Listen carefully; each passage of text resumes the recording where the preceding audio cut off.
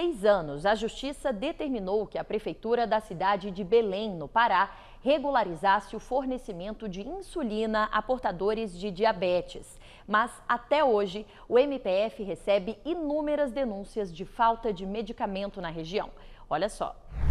Desde os 7 anos de idade, Wendel, que hoje tem 25, convive com o diabetes. Doença que a mãe dele, Dona Willa, também conhece bem.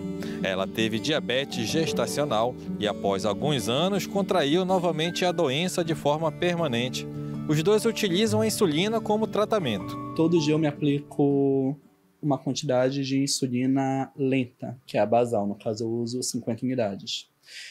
E toda vez antes de eu me alimentar, antes de tomar café da manhã, antes de almoçar, eu tenho que me aplicar uma quantidade de insulina para corrigir aquela alimentação que eu vou fazer. Se eu não fizer essa administração da medicação, a minha glicemia ela aumenta. Se eu estiver com o medicamento todo certinho, fazendo o tratamento, a minha vida é normal problema é quando não tem esse medicamento. Quando não tem, aí eu tenho que dar um jeito de comprar.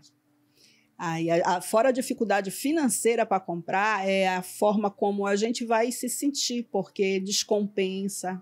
Aí eu começo a me sentir mal, a gente não se sente bem. Já para o filho de Vânia Maria, que tem outro tipo de diabetes, a aplicação diária da insulina é fundamental. Ele não pode ficar um dia sem o medicamento. E é um medicamento que ele tem que tomar todos os dias. Se ele não tomar, ele é óbito. Ele sobrevive através da insulina. É diferente da tipo 2. Tem muita diferença. Que a tipo 2, você pode ficar uma semana sem tomar o medicamento, você não vai sentir tanto. Ele não pode. Se ele passar um dia sem tomar, não pode, ainda tem um problema na visão, com já da diabetes, porque, para mim, na minha opinião, foi decadência do poder público. Em comum, as duas famílias dependem do poder público para manter o diabetes controlado, bem como as finanças. Isso porque, quando há interrupção no fornecimento gratuito dos medicamentos, não há outra solução senão comprar a insulina e todos os demais insumos. Uma conta alta, que não cabe no orçamento familiar. Então, se somar de todo mundo a medicação, é mais de mil reais. É mais de um salário mínimo. Esse é por pessoa, né? Por pessoa, se tiver mais outros medicamentos em falta. Se tiver insulina rápida, se tiver artiras em falta, às vezes esse custo ele é mais de um salário mínimo por pessoa, é na faixa de R$ 1.500. Por conta das interrupções no fornecimento de insulina e de seus insumos, pacientes com diabetes como esses que falamos e o Ministério Público Federal no Pará entraram com diversas ações ao longo dos últimos anos para que o poder público garanta de forma regular o fornecimento destes itens.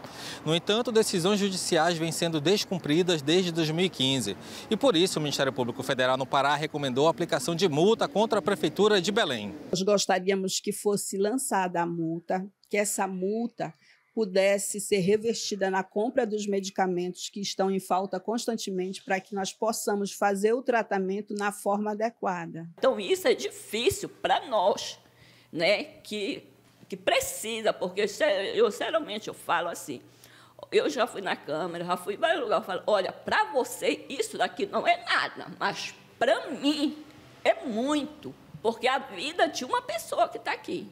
Em nota enviada pela Assessoria de Comunicação da Secretaria Municipal de Saúde de Belém, a SESMA, o órgão afirma que o fornecimento do medicamento está regular e que somente ocorreu descontinuidade no fornecimento dos medicamentos por parte dos fornecedores. A SESMA ainda diz que tratou como prioridade a regularização do abastecimento. Os pacientes, no entanto, reclamam que muitas vezes o medicamento ofertado não atende todos os tipos de diabetes ou mesmo que não é suficiente para a demanda.